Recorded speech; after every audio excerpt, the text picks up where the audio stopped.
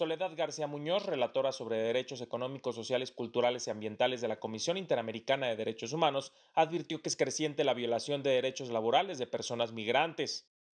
Las personas eh, migrantes o en situación de movilidad humana, porque sabemos que no solamente hay, incluso personas eh, forzadas a desplazarse dentro de los estados, que también tendrían esa misma problemática, ¿no?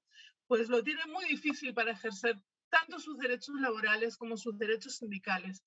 En conferencia sobre los derechos humanos en el contexto de la nueva justicia laboral, la relatora especial subrayó la importancia de la opinión consultiva 1803 solicitada por México a la Corte Interamericana sobre la condición jurídica y derechos de los migrantes indocumentados. Los sindicatos eh, tienen un rol muy importante que jugar como, como, como entidades defensoras de los derechos laborales de las personas trabajadoras a bien tener mucho cuidado con no discriminar en cuanto a quienes pueden eh, afiliarse, ¿verdad?, a, a los sindicatos. Destacó la necesidad de que los tribunales en México atiendan a los estándares del sistema interamericano para la protección de los derechos laborales de las personas. Poder Informativo, Mario López Peña.